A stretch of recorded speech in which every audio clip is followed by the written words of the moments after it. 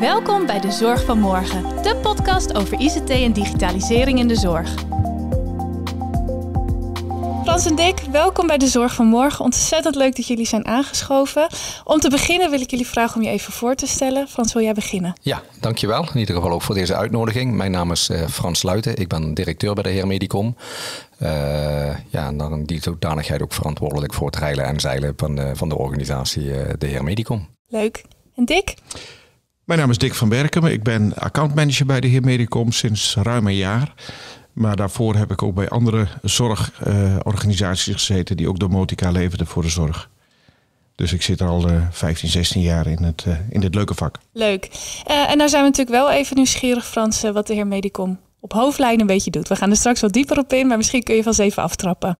Ja, uh, de Heer Medicom is een uh, system integrator. Uh, het bedrijf bestaat ruim 60 jaar, waarvan inmiddels 40 jaar actief met ontwikkeling van uh, zorgdomotica systemen. dat doen we in eigen beheer. we hebben een eigen R&D-afdeling.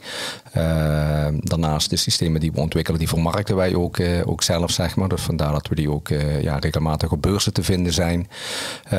en nadat we de systemen hebben ja, verkocht eigenlijk, als de accountmanagers hun werk hebben gedaan, dan gaan we die systemen ook integreren zeg maar, bij, bij onze klanten. Uh, dat is een heel proces, maar daar kunnen we ja, gedurende de podcast denk ik nog wel op, op terugkomen. Ja.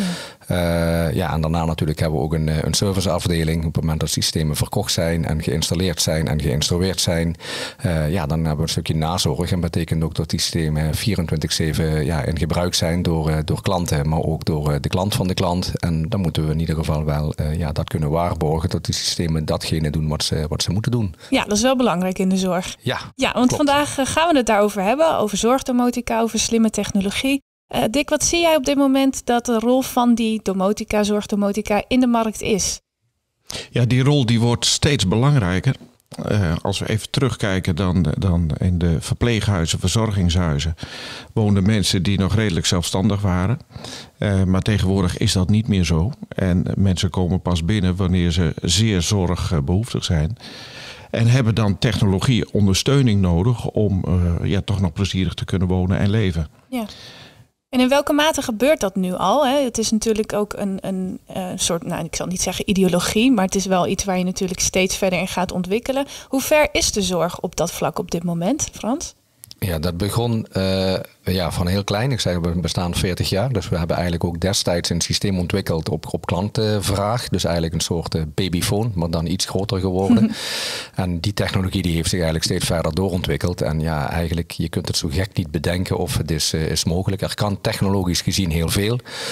de vraag die je natuurlijk moet stellen is dan, ja, is dit ook ja, ethisch verantwoord? En past het ook wel binnen mijn, binnen mijn eigen organisatie? Is mijn organisatie daar ook klaar voor om dit soort technologie toe te passen? En dan moet je dus denken aan slimme sensoren, uh, cameraobservatie. Hè. Dat is natuurlijk wel ook iets, een, ja, een grote inbreuk eventueel op je privacy. Maar ook daar is gelukkig in Nederland allerlei wet en regelgeving voor, waar wij ons, en niet alleen wij uh, als uh, ontwikkelbedrijf, maar ook organisaties zich aan moeten houden.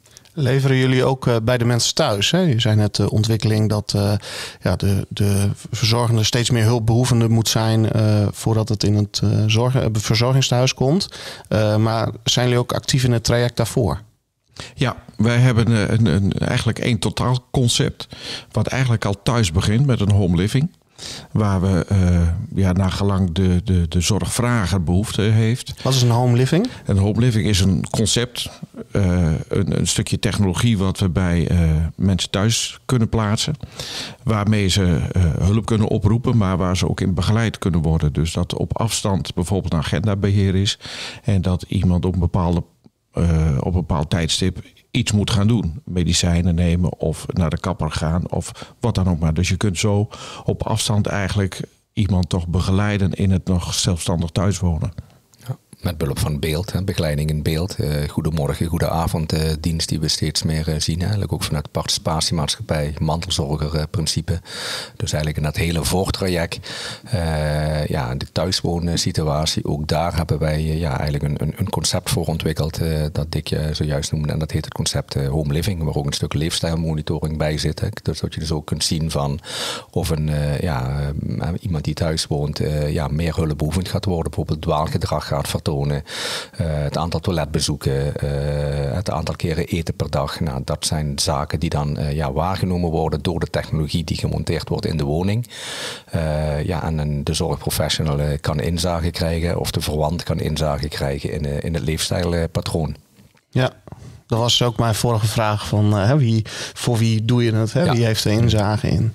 Ja, nou ja, de, de, de, dingen die uh, afgelopen week stond inderdaad nog in het nieuws. Ook iemand die uh, ja, toch al een geruime tijd dood in, in de woning lag. Het was in dit geval een 60-jarig alleenstaande iemand ja, dat soort situaties zou je kunnen voorkomen door, eh, door het toepassen van, uh, ja, van dit soort technologie, wat ik zojuist uh, benoemd heb. Ja, en uh, veel van onze luisteraars zijn ook zorginstellingen waar de mensen wel op locatie wonen.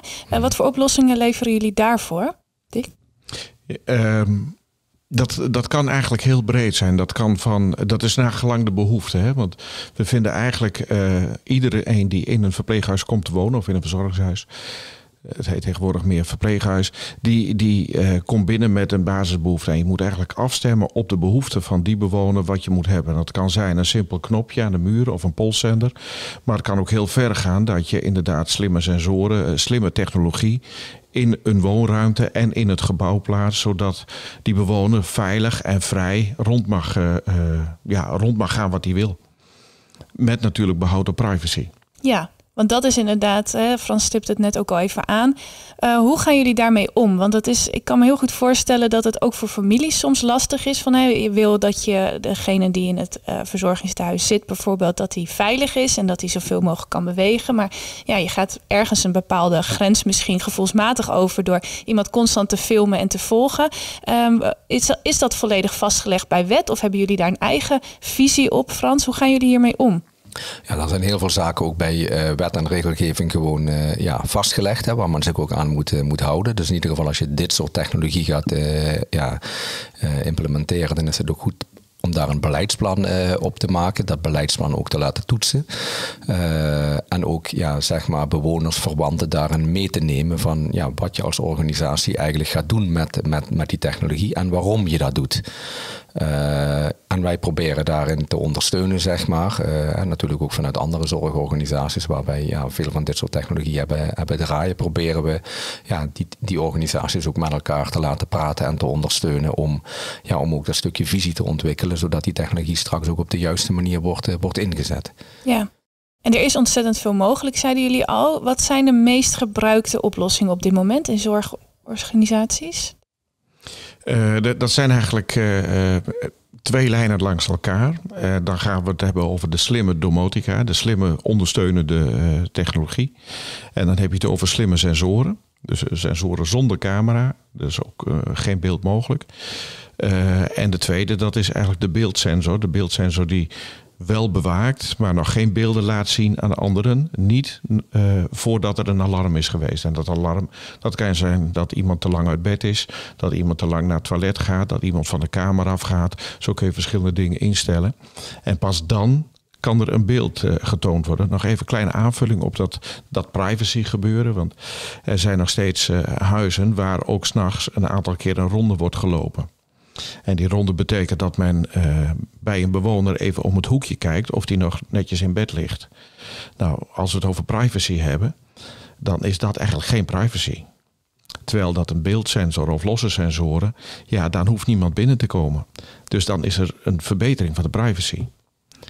Dat is nog wel een aardig aandachtspunt. Ja, het is natuurlijk wat meer geaccepteerd misschien al. Hè? Dat je denkt, oh ja, diegene van de, van de verpleging die ken je al. Dus die komt dan even kijken en dat weet je. En dat voelt misschien anders dan dat je constant in de gaten gehouden zou kunnen worden. En dat gebeurt ook eigenlijk. Ja, maar om, om, sorry dat ik je onderbreek, maar omgekeerd gebeurt het ook. Ik heb een, een aantal nachten meegelopen met verpleeghuiszorg. En dan zie je dat de eerste keer wordt het nog geaccepteerd dat er binnen wordt gekomen. Als dat drie keer per nacht gebeurt, men wordt gestoord in de slaap. Ja. Plus dat als de deur weer dicht is, weet je niet wat erachter gebeurt.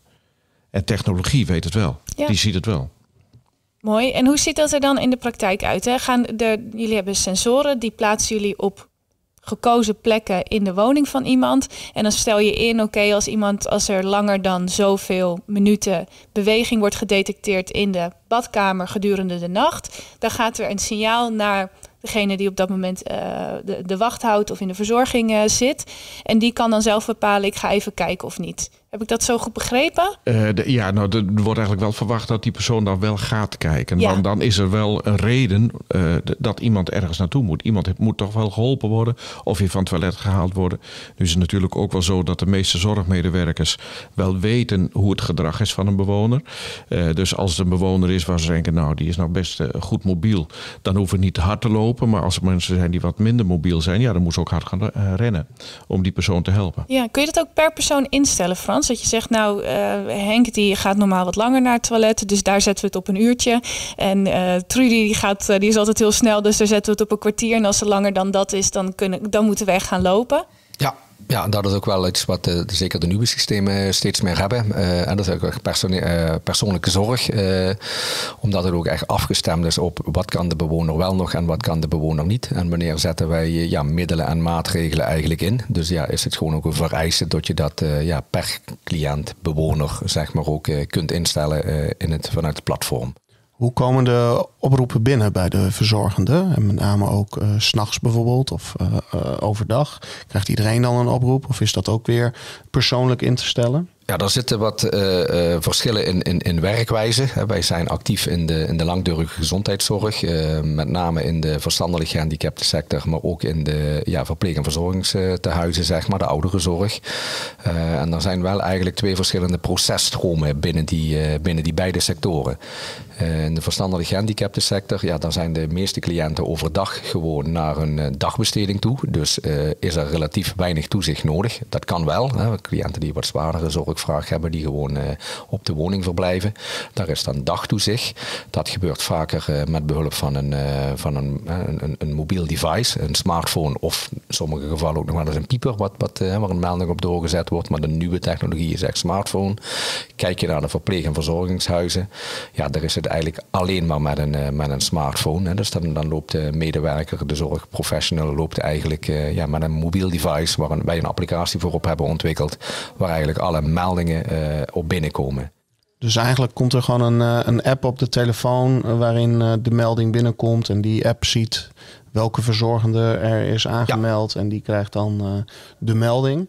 En, en krijgt hij ook de camerabeelden door indien dat op die manier is ingesteld? Ja, stel je voor, er zijn, zijn drie uh, medewerkers. Dan uh, gaat die oproep, als dat zo is ingesteld, naar die drie medewerkers toe. En een van die medewerkers die accepteert als het ware het alarm.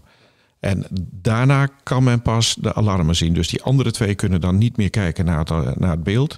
Maar alleen die ene die eigenlijk het alarm wil afhandelen, die pakt het op en die kan beeld zien. Die anderen weten dan ook dat het is opgepakt. Ja, natuurlijk. Ja, ja, ja, Die zien gelijk, dit alarm is opgepakt en zien ook door wie het is opgepakt. Dus wij verrijken eigenlijk ook de alarmmeldingen. We verrijken wij ook met, uh, met data, zullen we maar zeggen. Uh, we hebben gewoon een aantal koppelingen met verschillende ECD-pakketten. Dus elektronische cliëntendossier, patiëntendossier. Dus eigenlijk dat is normaal de, ja, het systeem binnen een zorgorganisatie waar eigenlijk alles in geregistreerd wordt over de cliënt. En wij halen, we hebben dus doordat we een interactieve koppeling hebben met dit soort systemen, kunnen wij die alarmmeldingen, van, die vanuit die sensordata eigenlijk komt, kunnen wij verrijken. En dan moet je dus bijvoorbeeld denken aan uh, NAW-gegevens, maar ook bijvoorbeeld het reanimatiebeleid, uh, wel of niet reanimeren.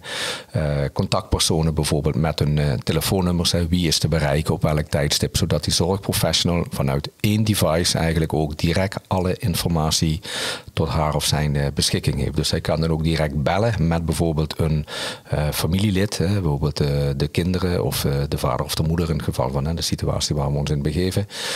dus die hebben dan direct het juiste telefoonnummer bij de hand en eventueel met notities. Uh, dat is eigenlijk ja, wat het systeem wel zo krachtig maakt, doordat je dus ook die integratie hebt met, uh, met andere systeembronnen. Gaat hij ook de andere kant op? Dus komt er ook in het EPD of ECD te staan welke uh, alarmmeldingen er zijn geweest van iemand? Dat is afhankelijk van, uh, ja, van hoe diep de integratie uh, uh, het toelaat. Hè. Dus dat betekent ook, wij, wij koppelen op basis bijvoorbeeld van, van API's. Ja. ja, en dat is afhankelijk van ja, wat een, de andere partij leest, de ECD-leverancier, ook voor een ja, integratiemogelijkheden biedt. Hè. We hebben met één partij dat wel kunnen doen. Dus waar we dus ook zeggen van nou, alarmmeldingen die van ons uit het systeem komen, dat vanuit het Zorg platform worden dan ook automatisch doorgestuurd naar het ECD. Welke is dat? Uh, dat was uh, Plancare uh, dossier. ja, ja, En voor de rest kunnen jullie koppelingen maken met alle ECD's, EPD's, maar met name vanuit het EPD of ECD naar, Ja. de, naar de apps. En Ja. andersom, dat is misschien nog in ontwikkeling of moet eens Ja, we zien daar wel een, eh, we krijgen daar ook steeds meer vraag over en naar. Eh, dus ja, ik denk dat, eh, tot, tot zorgorganisaties daar ook ja, dat hard moeten aankaarten bij, bij ECD-leveranciers. Want die behoefte die is er gewoon. Hè. Je hebt natuurlijk als zorgorganisatie ook de plicht eigenlijk om te evalueren en te monitoren van hè, we zetten sensortechnologie in of we zetten domotica in en zorgtechnologie in. Maar je moet het wel ook ja, evalueren. Hè. Vroeger gebeurde het heel vaak, nou iemand kreeg een middel, ja, k- k- kreeg een ondersteunend hulpmiddel toegewezen. En ja, dat had hij eh, jaar aan dag, eh, bleef dat middel eigenlijk eh, van toepassing. En nu is dat wel veranderd. Hè. Dat is ook echt met regelmatige ja, momenten ook geëvalueerd moet worden. Of eh, ja, dat ondersteunend middel nog wel voldoende is of adequaat is. Of dat het afgebouwd kan worden. Ja, precies. Eigenlijk zeg je dat eh, eh, eh, ook domotica kan bijdragen aan datagedreven zorg. Ja. Dat, dat is ook iets wat, ja, wat wij ook steeds meer zien komen. Ja. Ja. Ja. En Harold, ik ben nog wel even benieuwd, hè? want eh, eh, dit is natuurlijk een heel mooi verhaal en dat klinkt heel goed. En jullie zijn er natuurlijk helemaal voor. Maar ik ben even benieuwd, als jij bij zorgorganisaties komt, wat is hun mening of waar staan ze op dit moment ten opzichte van dit soort oplossingen? Ehm, nou ja, kijk, de kijk, elke zorginstelling waar wij, eh, waar wij komen, eh, ziet wel uiteraard de noodzaak in van domotica en de veranderende technologie daarin. Alleen eh, waar zij tegenaan lopen zijn eigenlijk de adoptie voor de medewerkers hè, van, van de nieuwe zorgtechnologie.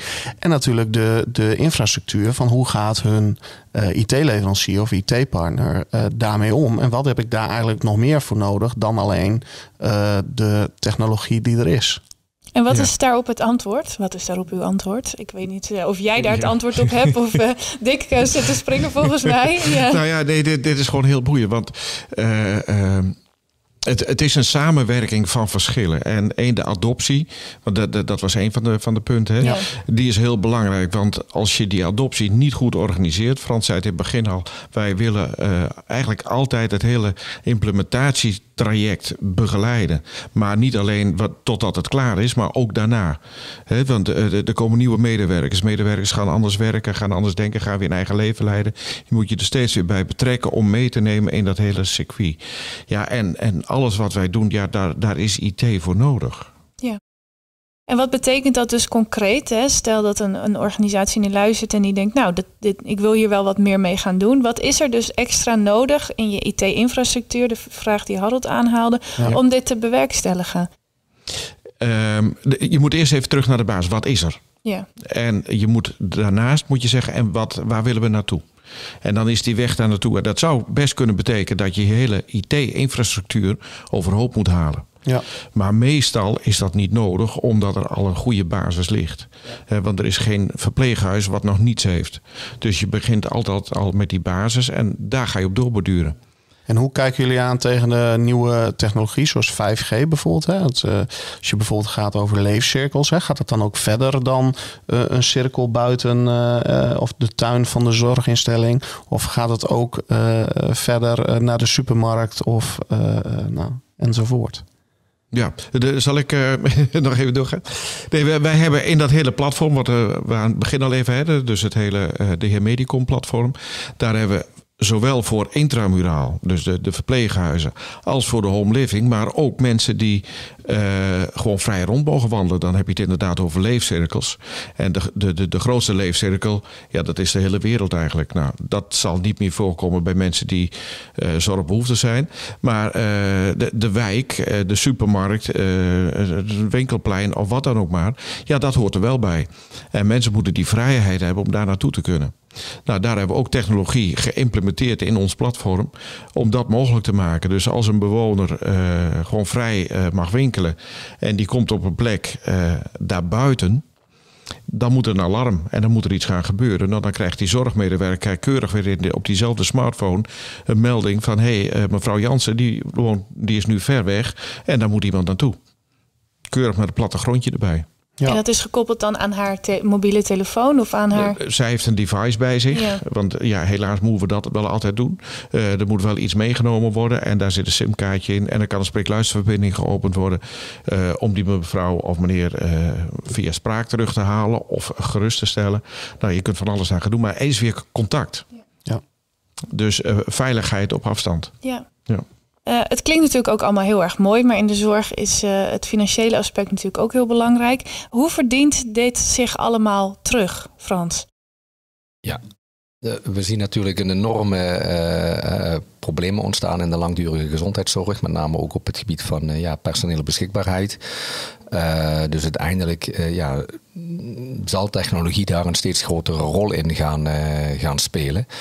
Uh, en ook maken wij uiteraard een business case voor de organisatie van ja, hoe kunnen we nu uh, die technologie die we gaan inzetten, wat betekent dat voor, uh, voor onze organisatie en kunnen we daar ook ja, een stukje effectiviteit mee, mee, mee halen binnen de organisatie, omdat je medewerkers op een andere manier kunt inzetten dan dat je nu doet. En dus nu ja, moet je natuurlijk regelmatig vaker gaan lopen op een alarmroep. nou, met minder personeel ja, wordt de werkdruk daar enorm, neemt daar alleen maar door toe doordat je met deze technologie uh, ja, toch uh, gerichter uh, de technologie doet dan een deel van het werk voor jou. Dat is ook een opbouw van een kwestie van vertrouwen, zeg maar. Medewerkers moeten ook vertrouwen krijgen. en op die manier ja, verdien je het natuurlijk ja, wel terug, zeg maar, binnen de organisatie. Ja, want dat vertrouwen van medewerkers, dat valt of staat natuurlijk met de continuïteit van, continuïteit van de technologie. Als het de hele tijd uitvalt of het werkt niet, dan, dan is dat niet alleen heel slecht voor de zorg, maar ook natuurlijk voor het vertrouwen van medewerkers. Hoe zorgen jullie ervoor dat het nooit uitvalt? Om hem maar even helemaal plat te slaan. De, de, nooit uitvallen, dat, uh, ja, dat is altijd lastig. Maar uh, je moet ervoor zorgen dat je het systeem eigenlijk heel goed bewaart. Dus dat je op afstand al weet van hé, hey, daar gaat iets mis. Uh, dat kan gebeuren. Er kan, uh, de, we hebben het met IT-technologie te maken. Er kan een switch uitvallen. Er kunnen wat poorten uitvallen. Er kan van alles gebeuren. En daar moet je voor zorgen dat je dan een backup hebt. Een stukje nou. redundantie hè, wat we inbouwen. Dus hè, je kunt het, uh, we bieden tegenwoordig de oplossingen steeds meer aan, ook vanuit de cloud. En verleden weg natuurlijk uh, ja, de centrale hardware heel vaak lokaal aangeboden. Dus uh, eigen ijzer, om het een beetje oneerbiedig te zeggen. Eigen ja, merruimtes. En dat is tegenwoordig, zien wij steeds meer zorgorganisaties die dit eigenlijk uitbesteden. outsourcen, zeg maar. En dan staat eigenlijk de rekencapaciteit, zullen we maar zeggen. De applicaties draaien extern. nou, en daarmee kan je ook ja, de updates, de upgrades uh, beter borgen en ook een stukje redundantie uh, ja, veel beter inbouwen. En dus op het moment dat één systeem uitvalt, ja, dan neemt het andere systeem het eigenlijk automatisch over. Waardoor, de, waardoor je daar alweer eigenlijk een, ja, een risico, hè, in ieder geval een continuïteitsrisico, uh, ja, mee, mee, mee, ja, een stukje extra veiligheid mee inbouwt op die manier. Wij merken steeds vaker dat zorginstellingen eigenlijk zelf de sleutel van hun ICT, hè, van hun serveromgeving in handen willen hebben. Um, dat betekent dat als zij bijvoorbeeld naar een platform gaan van Microsoft, hè, uh, Azure, het Azure platform, uh, daar kunnen jullie servers ook op ingericht worden. Ja, daarnaast wat we ook gedaan hebben is, is een koppeling met het AD, dus Active Directory zeg maar. Ja. dat wil dus eigenlijk zeggen dat, dat medewerkers van de organisatie zich kunnen inloggen met hun eigen gebruikersnaam. ja, wat, want we gaven zojuist aan, we ontwikkelen applicaties ook voor op de smartphone. En we hebben ook te, te maken met ja, vertrouwelijke informatie. En hoe borg je dat? Nou, dan is een, een AD-koppeling, ja, is daar eigenlijk wel een hele mooie, mooie extra aanvulling op. Hè, zodat je ook zeker weet dat medewerkers die zich aanmelden ook medewerkers zijn die nog in dienst zijn binnen de organisatie. Dus in overleg met de IT-partner heb je dan single sign-on en uh, two-factor of multifactor authentication om de privacy van het systeem te waarborgen. Dat is correct. Dus uh, wij zijn zelf ook uh, als bedrijf uh, ja, EN 27001 en 7510 gecertificeerd. Hè. Dat is gewoon een vereiste naast het kwaliteitsmanagement systeem dat we al binnen onze organisatie hadden, 9001 2015.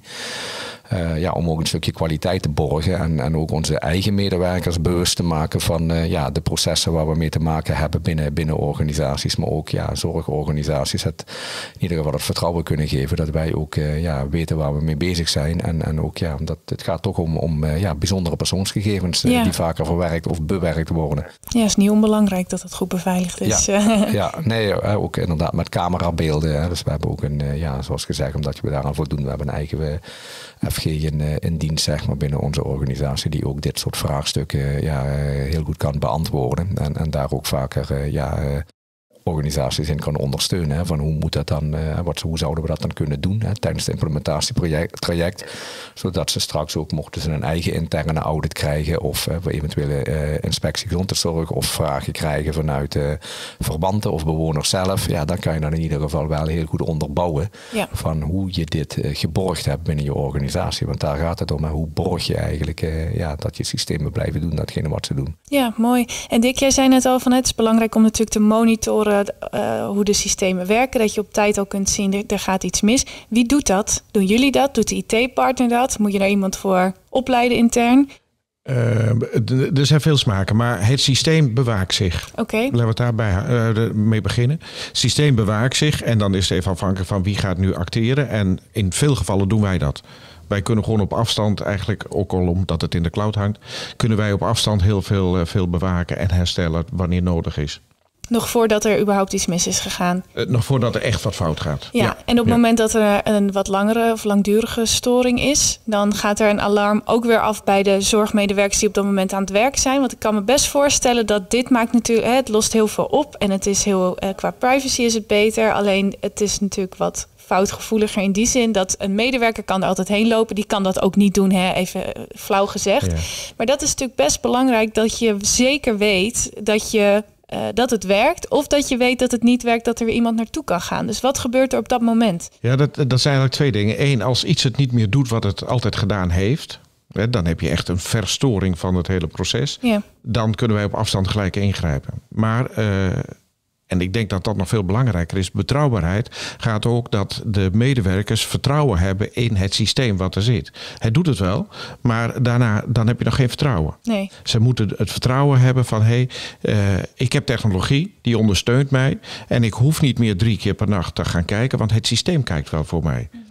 En dat vertrouwen, dat moet groeien. Dat komt niet, niet zomaar in één keer aanwaaien. En uh, dat moeten we ook laten zien dat het goed werkt. En dat doet onze zorgcoach bijvoorbeeld, die bij een implementatie altijd aanwezig is. Uh, om, om die medewerkers vertrouwen te geven. Nou, dat is ook een heel proces bij een implementatie. Want, je gaat eerst al een aantal mensen opleiden. Die, die een soort key users zijn, super users. En die gaan ook in de organisatie meer uh, ondersteuning bieden aan zorgmedewerkers die minder vertrouwen hebben. Ja. Ja, het mooie is dat als ze intern elkaar kunnen beïnvloeden. Um, het gaat heel snel, want we zijn al bijna aan het einde gekomen van de aflevering. Ik ben nog wel even heel benieuwd wat er voor jullie verder op de planning staat. Zijn jullie met nieuwe dingen bezig? Dingen die we de komende weken, maanden, jaren van jullie mogen verwachten? Ik weet niet wie de eer hiervan uh, wil nemen. Ja goed, we zijn, een, we zijn een technologiebedrijf. Ik ga van het begin aan, we hebben een eigen R&D-afdeling. Uh, nou, dan, dat betekent ook dat wij uh, continu uh, aan het kijken zijn eigenlijk ook van wat doet de markt. Hè? Dus we kijken dus ook van wat, wat doet de wet en regelgeving. want die bepaalt natuurlijk ook voor een groot gedeelte welke technologie straks ingezet zal gaan, gaan worden. En bepaalt natuurlijk ook welk beleid zorgorganisaties moeten gaan, straks gaan uitvoeren op de langere termijn. Ja, en daar proberen wij als, als ontwikkelbedrijf natuurlijk ook goed naar te kijken kijken en van die kant uit ook ja, ideeën te bedenken die dan aansluiten op die nieuwe vraag of dat nieuwe werk en denken. Uh, nou, een van de dingen die natuurlijk gaat gebeuren is uh, ja, AI, hè, artificial intelligence, waar we een steeds grotere uh, intrede van, van zien. En nu hebben we bijvoorbeeld nog een technologie waar je rasters moet tekenen bij de slimme sensoren. De nieuwe technologie, ja, die, die herkent eigenlijk objecten en, en ja, maakt, je hoeft geen rasters meer te tekenen, maar hij herkent bijvoorbeeld een tafel, een stoel, een bed. Dus op het moment dat de cliënt in bed ligt, wordt dat herkend. Maar wordt het bed verplaatst, omdat bijvoorbeeld een nieuwe bewoner uh, komt wonen in die ruimte, dan, of in die kamer, dan gaat dat, uh, dan gaat dat detectiemechanisme automatisch mee, omdat hij het bed herkent. Ja, of de en, kamer niet opnieuw getekend zou worden. Ja. Mooi. En een andere ontwikkeling is natuurlijk ook een stuk big data. Hè. Kunnen we voorspellend worden of we zijn met onze, met onze data die we, uh, de systemen eigenlijk of andere uh, systemen zeg maar genereren. En daar proberen we slimme dingen mee te doen. Uh, een stukje voorspellendheid eigenlijk. Leuk. Nou, dat klinkt goed en interessant. Dank jullie wel voor het aanschuiven, voor jullie uh, mooie verhaal en heel veel succes uh, met alles in de toekomst. Ja, dankjewel. dankjewel. Graag gedaan. Dit was de derde aflevering van de Zorg van Morgen. Tot de volgende keer.